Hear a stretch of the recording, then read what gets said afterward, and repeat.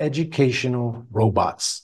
This is a topic that I find very interesting and is something that all of us in academia really need to continue to to to keep an eye on as well as to to contemplate and to think about how are we going to integrate educational robots.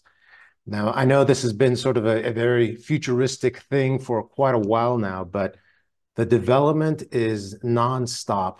Um, there's just been so much leaps and bounds as far as how robots have been developing here recently, especially with the, the ongoing enhancements with AI. So of course we have things like the Tesla robot, which is very cool looking and is developing very quickly. But the biggest thing that has really pushed all of this is with the development of the Tesla bot has come competition. Competition from China, of course, that's an uh, always present thing, but also competition from uh, many different companies. You have NVIDIA that's uh, making leaps and strides with the with their AI development. Of course, they have the graphics cards, but they're getting very heavily just directly into this aspect of AI as well as robots, and they're combining them as well. So you have Tesla that's combining the AI with robots. You have NVIDIA, and now, of course, you have OpenAI and a lot of powerful things that they're doing with that. And I'll get back to that here in a second. But I wanted to bring this up because here recently I had a chance to actually interact with a, a an educational robot. So one of my friends is a big time investor and uh, he was able to have an event and he brought the the Moxie robot which is this uh, it's a children's educational robot. And man it was just so impressive the abilities of it to be able to to interact. I was able to have a conversation with it. Of course it's designed for a child but it's uh, they're they're implementing new things with the moxie robot so that it can actually teach the child initially it was developed as somewhat of an educational robot but also specifically for social development so it has things like it has eye tracking, so uh, its animated face can actually watch you and then follow you with your gaze, with its its gaze. So it helps to develop the child's ability to to look at, to make eye contact, to interact, to talk. So very impressive to begin with, but now it's having more advanced AI placed into it so that it can do even more with the educational process. In the same way, we have these advanced robots, the most recent of which was the OpenAI robot, Devin, that came out. And there's a, a video that initially came out a couple days ago as of the making of this video. I'm going to play just a short clip of that. And I want you to, to watch it and then think about some of the educational implications as far as how we might use it in the classroom. Great. Can I have something to eat? Sure thing.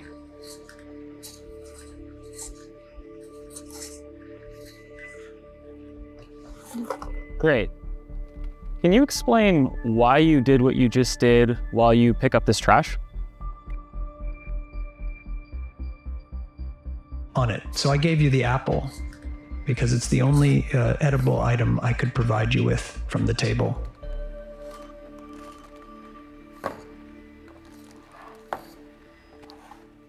Great. So, based on the scene right now, where do you think the dishes in front of you go next?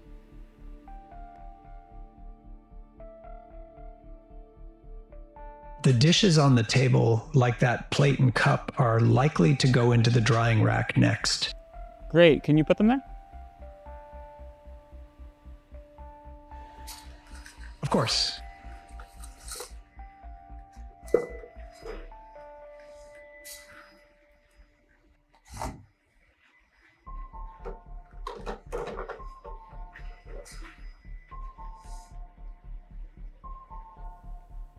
Right, so how do you think you did? I, I think I did pretty well. The apple found its new owner, the trash is gone, and the tableware is right where it belongs. I agree. Thanks, Figure One. Pretty impressive, I think. Uh, there's a lot going on there. Its ability to multitask, but most importantly, its ability to reason it was able to explain things. It was able to answer questions, to to do things, to interact, that's very powerful.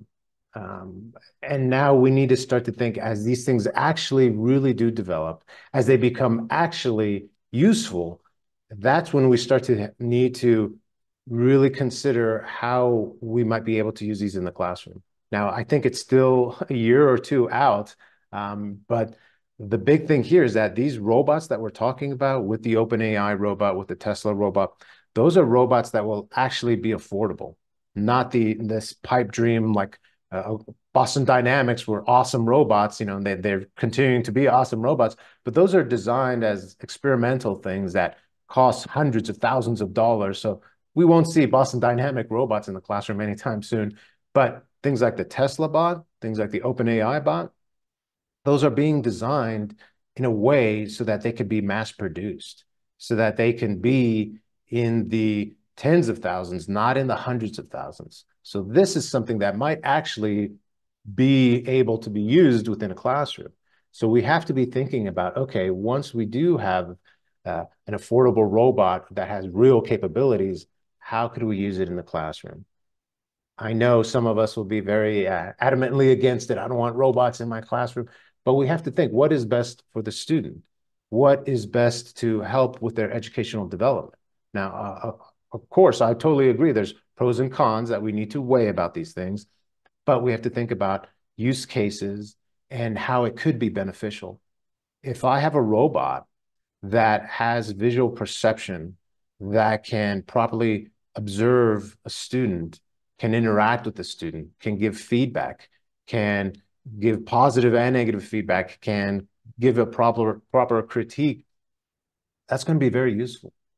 The ability to have a robot that could be in my classroom that could split the class so that they would be doing half half the class could be interacting with the robot, half the class could be interacting with me. Then we switch. We could do all sorts of different activities. We could do all sorts of different things where now there is a better ratio of instructor to students because research has shown that that's very beneficial for learning. So the more active hands-on learning that we can do with the robot and the greater the capabilities of that robot, well, that's definitely a powerful thing for education. So we need to consider those type of applications, not just the novelty. Oh, look, new technology. Let's throw it in the classroom. No, no, no, no. I'm not. I'm not for that at all. I'm for when we these robots become useful, become actually capable. Then we need to really start to consider implementing this. But we need to start to think about it now. What should we be thinking about? What what could we be using these robots for once they become available, which I think will be very soon. So if we consider these things now, if we're proactive now, well, then we'll be that much more ready instead of being reactive when this technology really hits. Uh, it's it's one of these things that I want us to think about these things. I want us to have these discussions now. Robots in the classroom, how can they be useful? What are some things we need to watch out for? We want to avoid over reliance. We want all these different things. We need to be having these discussions right now so that we don't have the situation where, just like many people say, that OpenAI and ChatGPT was just thrust upon us out of nowhere. Of course, that's not correct either, because generative AI did exist before ChatGPT. Students were already using it before ChatGPT. I wrote an article about that. Uh, so these things were there, but of course, most people chose to not pay attention to it or they didn't know about it fully yet.